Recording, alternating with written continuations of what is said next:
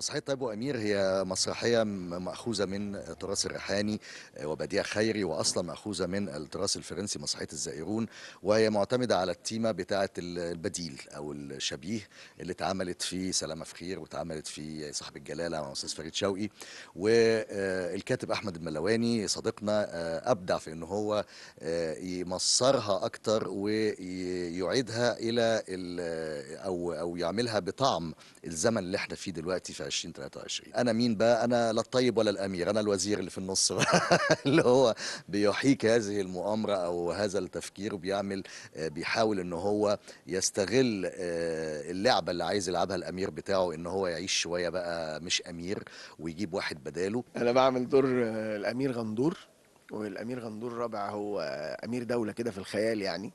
خلاص بيجي مصر زيارة. وهو بيحب مصر قوي.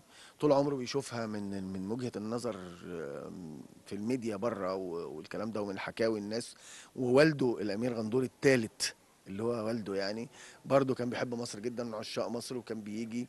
هتلاقي الموضوع خيالي بس فيه لمحة كده من الواقع أو في طعم من الواقع يعني.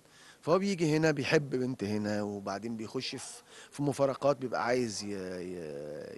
يقعد أطول وقت ممكن في في مصر يعني فبيحصل مفارقات كتير مع مع المصريين اللي موجودين وده اللي بيعمل ضحك يعني أنا بلعب دور الشخص الموظف البسيط اللي هو سعيد الطيب اللي بيتورط في الفلوس اللي كانت لازم تدخل في حساب الشركة اللي بيشتغل فيها في هذا اليوم ونظرا لظروف آه، خاصة جدا آه، حصلت يعني. الراجل ما عرفش يحط الفلوس في البنك فبقى مجبر إن هو زي ما حصل في القصة الناس عارفاها إنه يبات في أوتيل. وهنا بيحصل بقى لعبة التبديل مع الأمير اللي عايز يعيش حياته بشكل طبيعي جدا وبتنشأ علاقة عاطفية بينه وبين واحدة من اللي شغالين في الفندق. فبيبدأ يعيش زي أي مصري. عايز ينطلق وما يبقاش تحت ضغط المسؤولية بتاعت السياسة والإمارة اللي هو جاي منها إمارة سرسستان دي يعني بلد وهمية طبعا مش إمارة حقيقية هي بلد اسم كوميدي يعني مش أكتر. دوري في المسرحية أنا الشخص اللي البطل بيقابله اللي هو سعيد الطيب وبيغير مجرى الأحداث بتاعت الأمور كلها معاه اللي هو بي بيخش يبقى حشري كده في معاه وبيحاول ياخده يعمل محضر ويعمل مش عارف إيه وياخده جوه حاجات كده كتير عشان تليفونه اتسرق. وده المغزى بتاع المسرحية في الآخر. ومن الحشرية بتاعتي دي بلبسه للأسف في حيطة. أنا بعمل دور آه، شخصية اسمها مذكور مشهور وده من دولة آه، سيرسستان العالم الخيالي اللي افترضه المؤلف أحمد ملواني.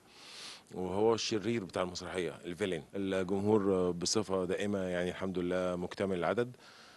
طبعا إشادات كبيرة جدا من جميع النقاد والجمهور العادي حتى اللي بي- بيحضر المسرحية بيكتب دوت بشكل آه، مستمر على صفحات الشخصية بتاعتهم على وسائل التواصل الاجتماعي.